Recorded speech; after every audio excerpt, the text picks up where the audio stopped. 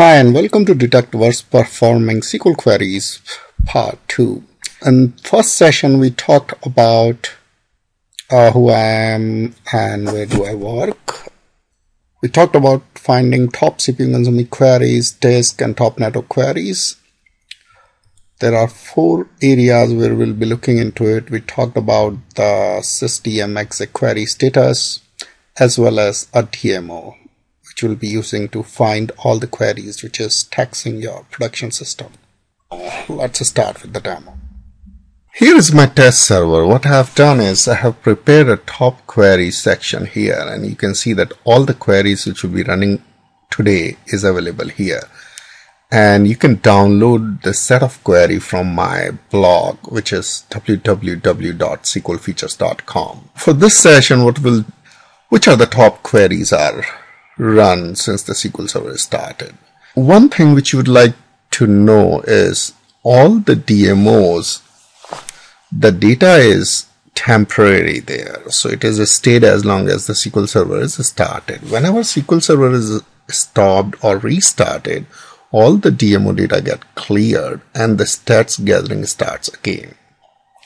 So right now let's go and see which are the top CPU queries are running. So this is just a SQL bunch of statement based on the two DMVs we were talking, the dim exec query stats and dim exec SQL stats.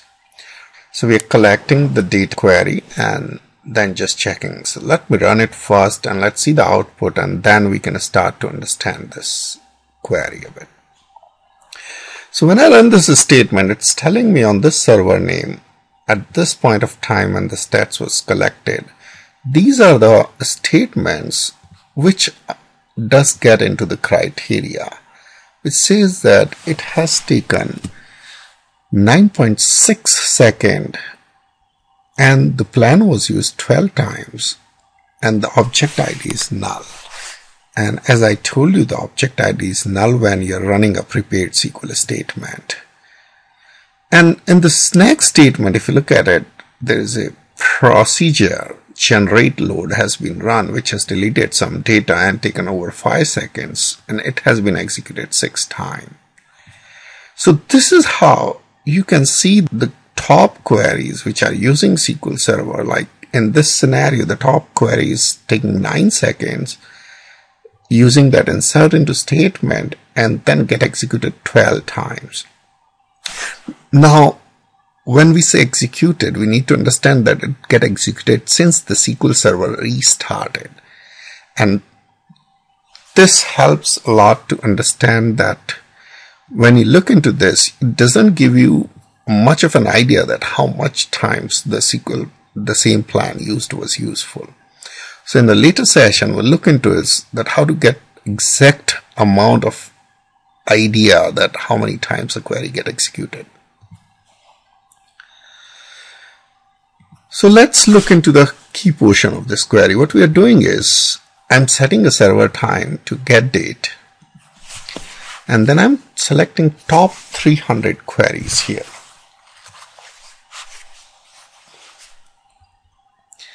We're collecting SQL Server name, DB name, it's coming from st.dbid. As you know, st is uh, this table, which uh, which we looked into the PowerPoint slide it returns the DB ID. And then we are trying to collect the query executed. And we are using the statement and date statement start offset and the text to figure it out what is the exact query getting executed. So this is a standard code you can just copy paste as it is. And this does work in almost SQL 2005, 2008 and all the versions as it is to get the exact query which is running. Once you get the SQL handle, you pass the SQL handle to SQL text and it gives you all the data back. Now, next we are looking into total worker time slash execution count. So we are looking at the, a, a, particular SQL handle, how much total worker time has been executed on that. It is a sum of all the executions. So we are dividing it by executed count to get the average execution time. Plus, we are also dividing it by thousand to data is stored into microseconds so we are converting into the milliseconds to get some fair idea and understanding of how much average CPU time has been taken by a particular query. Last is execution count and we are calling it as the same plan used. Now it is very important to understand that this DMO is storing all the execution plans it's collecting all the data based on execution plans. So if you're running a particular query, it gets a particular execution plan and every time SQL Server uses that execution plan, it will put it as a count plus one. And this will be very helpful to see that how many times a particular query is getting executed and how much time it is taking per execution or an average execution. And then we are reporting the object ID as you can see if object ID is available we are if DB, DB ID is null then we are just trying to get the object ID if it is not available then we are provide if DB ID is provided in that case we are providing the DB ID to get the object ID so this particular code what I'm doing is in this query what I'm doing is I'm selecting all the queries in this DMO which has taken more than 1 millisecond and has at least two execution count and the last execution time is in last two hours. And the reason I'm doing is that I want to filter out all the queries which are taking some time which is noticeable. Any query which takes less than a millisecond we probably doesn't want to consider that and that actually not costing the system as much as possibly others. And we are trying to find the top query. So when you run this particular statement and if you see that more than 300 records are coming in that case what you might want to do is to increase this threshold. You can come and say that uh, one millisecond is normal in my system as I'm getting too many queries and first you would like to improve the queries which are taking most of the time. So you can come and put it to like 5 millisecond, 10 milliseconds. The idea is that you should get a result set of around 20 to 30 or maybe 50 rows. Anything more than that you're getting, then you're not concentrating on the right queries. So, and at the same time, once you get some good number, then you want to change the execution count since we are doing in last two hours, initially you might wanna check is that in last two hours how many queries which has taken more than one millisecond and got executed. Uh, say in this example, like we are doing a demo, so I put it at two, but in a real system you want to see something like are there any queries which are executing in last two hours for more than say 200 times or 500 times and that will give you the right amount of queries which you want to tune it. Next is what we are doing is once we get this data is there and we collected all the related data about is database object ID, query, all the counts and everything, then we are putting a filter on top of that where I'm saying that this is the same query which criteria which I'm putting here. What I'm saying is if average CPU is more than 60 milliseconds, then report it to me. I, in this example, since we'll not will be using the queries which are taking more than 60 seconds, so I put this criteria so we're not spending time on the queries which are using less amount of CPU. And then we are sorting it by average CPU time. So let's execute. Let's try to get back again to this query. So in the system, as you can see that there are around five queries has been trapped, which are like more than using 60 milliseconds. And some of the queries are taking more than nine milli, some queries are taking more than four seconds, which are pretty high in any system. And a query is taking like 10 seconds, but that in last two hours it get executed one or twice. it might be some of the big batch processes and that doesn't come into its first round for the tuning. So what you want to do is you want to increase this value to see that I do not want to see anything which is like which has only three times got executed in last two hours. So you can increase it so that way you get the qualitative amount of queries which needs the fine tuning.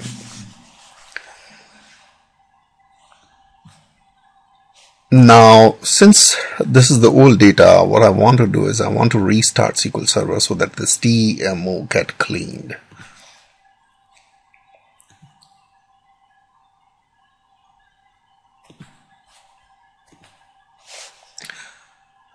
So I'm restarting SQL Server.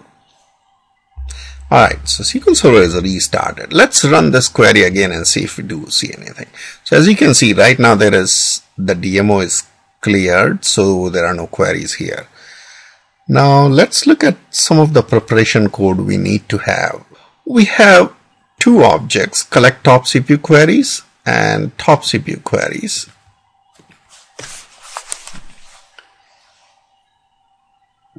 And then we have a stored procedure proc generate load. This is stored procedure we are using to generate some kind of a load. What I'm doing is I have a table, test table set 3, which has a lot of rows and this procedure will select top some x number of rows from this table and then will delete some of the data from test table set 4. So there is test table set 3 and test table set 4.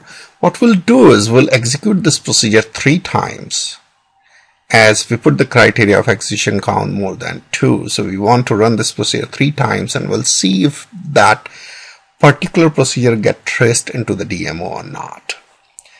Right. So let's look at the batch file which I have created to generate this particular load.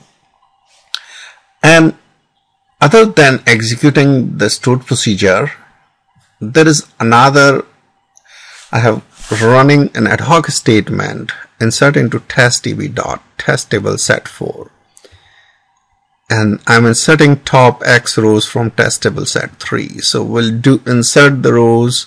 We'll run this procedure. This procedure will do a select from test table set 4 and then it will delete the data from 4 and the same steps we are doing it again. Our idea is we are running three times ad hoc statement and three times stored procedure with different set of statements. And now what we're doing again we are running three times these ad hoc statement.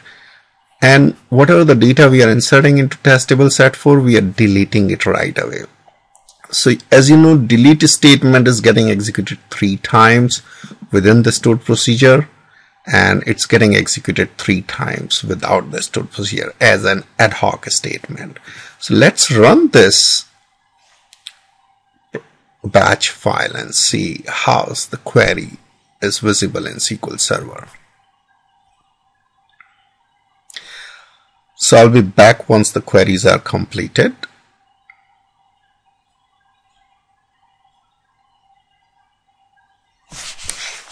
Alright, so batch file is completed. Now we'll go ahead and see how if there are any queries are captured here.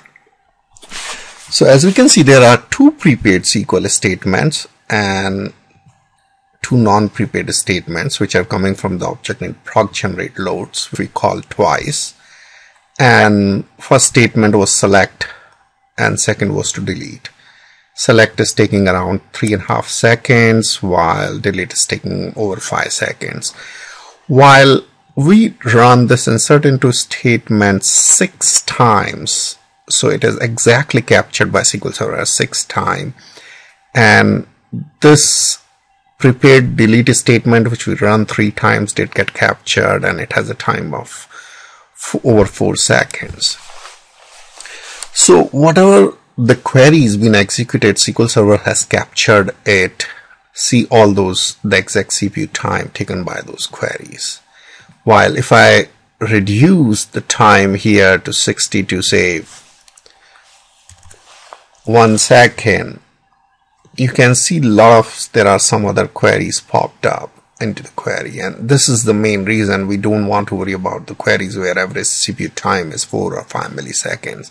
And that's the reason I changed it to 60 so that we are looking into the data which really needs some kind of a tuning and this procedure which is deleting the table that way and if it's getting executed three times in a day it might be okay but if it is getting executed 3000 times and every time it's taking five seconds then this is certainly a query you want to tune, fine tune on. You want to talk to your development team or to optimize it.